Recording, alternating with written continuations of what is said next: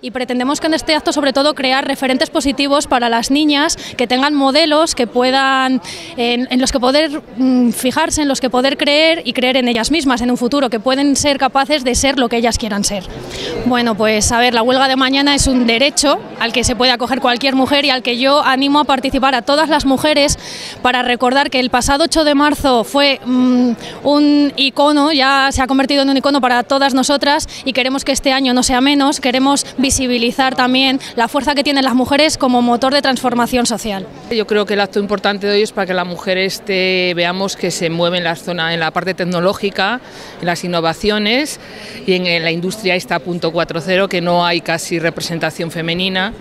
y a ver si con este acto podemos animar a las mujeres a que den el paso para participar en, lo que conocen como mundo de hombre, que yo considero que no es mundo de hombres, sino de personas. Hay un porcentaje eh, casi nulo de matrícula femenina, o sea, en los últimos tres años, tres mujeres, de las cuales solo ha, sacado el ciclo una y la otra lo ha dejado por motivos personales. Entonces es muy triste, es muy triste que, no tengamos en, en, estos ciclos que tienen salida profesional 100%, trabajo seguro, solo hombres. Eh, yo mañana sí voy a ir a la huelga porque creo que es crucial que hablemos las mujeres, que tengamos voz, que tengamos visibilidad y que de alguna forma defendamos el papel, reivindiquemos el derecho, ¿no? que reivindiquemos la igualdad de la mujer para acabar con estas brechas de género que se está dando en la sociedad. No solo brechas de género, también brechas salariales también techos de cristal. Yo creo que la mujer tiene que salir a la calle y de verdad reivindicar,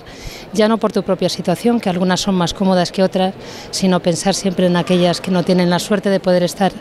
en un palco y decir lo que, lo que sienten. ¿no? Y esta tarde estoy aquí en la Universidad de Valladolid de Segovia porque soy la única alumna que está cursando un ciclo superior de la rama tecnológica, que es este año pues lo que, de lo que va el tema de las mujeres, de mujeres tecnológicas. Y haciendo un poco eco del, del lema de Naciones Unidas para este año de la mujer, pues sí que quiero promover y quiero invitaros a todas a pensar en igualdad, a construir, a, innovar, porque tenemos muchas desigualdades a día de hoy entre hombres y mujeres. Hemos recorrido mucho, pero aún nos queda demasiado camino por recorrer y hay que empezar eh, construyendo juntos con los hombres, puesto que las diferencias son muy grandes con respecto a ellos.